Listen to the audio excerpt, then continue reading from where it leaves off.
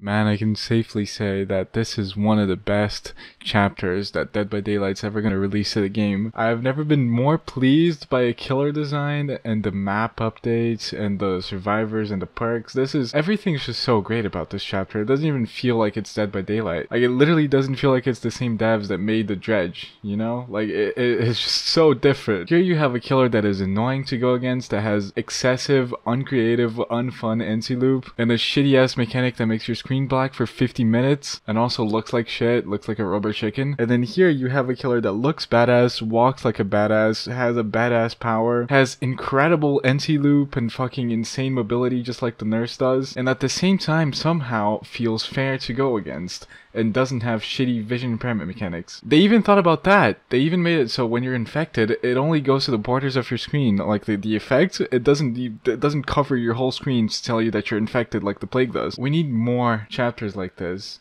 I hope that they this is this is just the first one of many and that they actually learn from their from their mistakes and I'm so happy about this behavior. You don't even understand how happy I am. You guys have been making some really good changes to the game and I'm proud of you just uh, remove the the the deep wound from Dead Hard, and everything's gonna be great.